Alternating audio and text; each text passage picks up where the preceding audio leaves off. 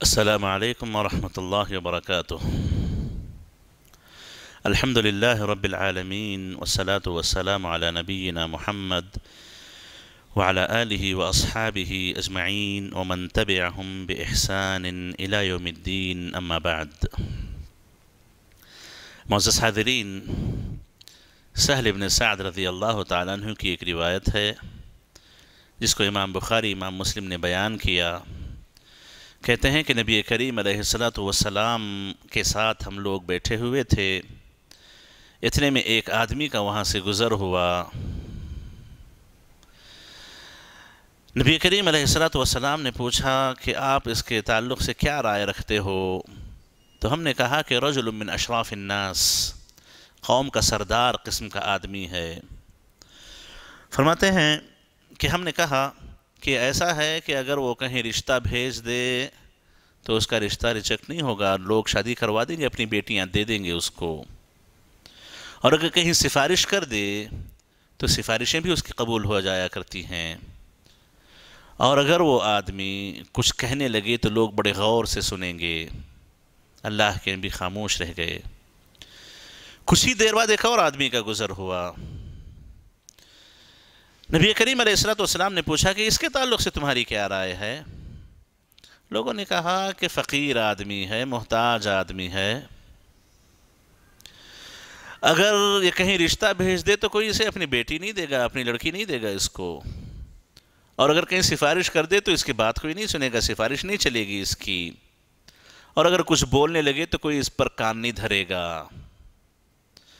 नबी करीम वसलाम ने उन दोनों के गुजर जाने के बाद कहा कि ये जो दूसरा आदमी है, ये आदमी उस पहले आदमी के मुकाबले में इतना अफजल है कि दुनिया भर के लोग अगर पहले आदमी जैसे हो जाएँ और ये अकेला हो तो वो अकेला दुनिया भर के लोगों से ज़्यादा अफजल, ज़्यादा बेहतर होगा। ये हदीस हमें इस बात की तालीम देती है कि देखो, पैसों से, मालदारी से, मकाम मरतबे से, और लोगों के दरमियान स्टेटस बनाने ले से, लोगों के दरमियान स्टेटस के मेंटेन कर लेने से, अल्लाह की नज़र में कोई बेहतर हो जाए, मामला ऐसे नहीं है। मामला तकवे से, अल्लाह के दीन की पाबंदी से होता है।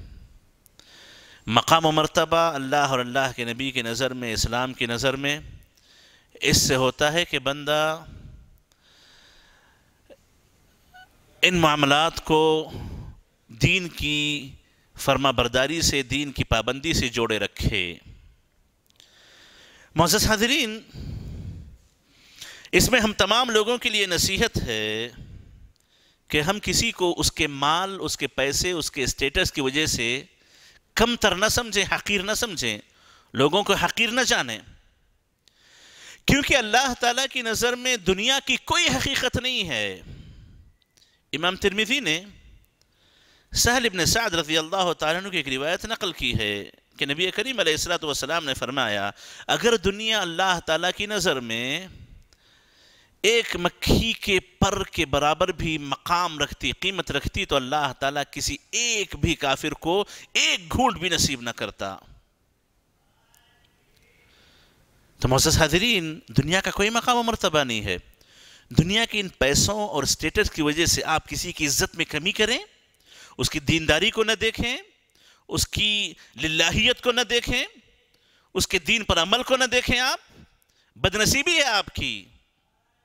कम समझ ही आपकी कि आप किसी को हकीर इसलिए समझे कि पैसा उसके पास नहीं है, मकाम उसके पास नहीं है, गाड़ी उसके पास नहीं है, उसका अपना जाति घर नहीं है। रिश्ता नहीं देंगे आप उसको, क्योंकि जाति घर नहीं है उसका। बड़े अफसोस की बात है।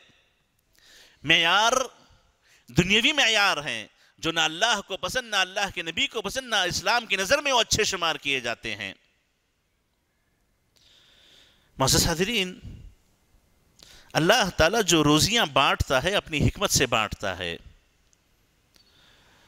अल्लाह ताला ने जब रोज़ी बांटी है तो हिकमत से अल्लाह ने बांटी है। फ़कीर को दिया, फ़कीर को फ़कीर रखा तो उसके पीछे उसकी यकीनन हिकमत है। मालदार को मालदार बनाया तो उसकी हिकमत उसके अंदर है। फ़कीर की फ़कीरी उसके लिए आजमाइश है। मिस्कीन की मिस्कीनी उसके लिए आजमाइश है। तो मालदार की मालदारी उसके लिए आजमाइश है। तो मजस हाजरीन इन तमाम में आप एहतियात से काम लें। और ये बात भी याद रखें कि क़यामत के दिन जब हिसाब किताब शुरू होगा यही फ़कीर लोग यही मिस्कीन लोग यही गरीब लोग न, दुनिया में न जिनका कोई मकाम है न जिनका कोई मर्तबा है न जिनकी कोई सुनता है न जिनको कोई रिश्ते देता है न जिनकी तरफ़ कोई निगाह उठा के देखता है जिनका कोई मकाम मरतबा ही नहीं है वो अगर नेक हों तो क़यामत के दिन नेक मालदारों के मुकाबले में 500 साल पहले जन्नत में चले जाएँगे। मालदार अपने हिसाब किताब के लिए खड़े होंगे, परेशान होंगे। हिसाब किताब देना होगा। और ये फ़कीर व मोहताज लोग उनसे पाँच सौ साल पहले, पाँच सौ साल पहले जन्नत में पहुँच चुके होंगे। तो हाजरीन इज़्ज़त, रिश्ते, वक़ार, मकाम, मर्तबा, इसके लिए कभी आप पैसे और मकाम मरतबे को मैार ना बनाएँ। बल्कि इन अक्रमकुम इंदल्लाह अतकाकुम तुम में तकवा जिसके पास जितना ज़्यादा होगा, अल्लाह के यहाँ वो उतना ही ज़्यादा बाइज़्ज़त होता है। इसको आप अपने नज़र में रखें। और ज़रा अपने दिल पे ख्याल अपने दिल पे हाथ रख ये सोचें कि आपकी बेटी को अगर रिश्ता किसी मालदार घर से आ जाए, किसी गरीब घर से आ जाए, मालदार में दीन दरमियानी हो, गरीब के पास दीन बहुत ज़्यादा हो तो यकीनन बड़े अफसोस के साथ हमारी इख्तियार उसी मालदार पे पड़ती है। क्योंकि हमने मैार बदल के रखे हैं। हमारे मैार कुछ और कहते हैं। हमारी सोच कुछ और कहती है। अल्लाह के नबी ने क्या कहा? कि देखो, लोग पैसा देख करके, ख़ानदान देख करके, खूबसूरती देख करके रिश्ते करते हैं। तुम दीन देख करके रिश्ते किया करो। तो मजस हाजरीन अपने मैार को बदलने की कोशिश करें, अपनी सोच को बदलने की कोशिश करें। इज़्ज़तें अल्लाह की तरफ़ से मिलती हैं। तो तुज़ मनतशा व तुदिल्ल मनतशा इज़्ज़तें अल्लाह ताला जिसे चाहता है, अता करता है। तो इज़्ज़तों का मैार आप दीन को रखें। इज़्ज़तों का मैार आप तकवे को रखें। और किसी के पैसे, किसी के मकाम को देख करके उसकी इज़्ज़त में कमी ना करें, एहतराम सबका करें। एहतराम सबका करें खसूस अल्लाह वालों का एहतराम करना, उनकी इज़्ज़त करना, ये आपके दिलों के तकवे की निशानी है। ये आपके दिलों के तकवे की निशानी है। और उनको हकीर नज़र से देखना, उनको कम जानना, उनको अपने दस्तरखान पे ना बिठाना, उनको अपनी दावतों में ना बुलाना, उनको अपने साथ ना रखना, उनको साथ ले करके ना चलना, उनको अपनी सवारी सवारी में ना बिठाना, उनको अपने ऑफ़िस में ना बुलाना ये तमाम आपके अंदर के खुब्स की, आपके अंदर की गंदगी की दलालत करता है।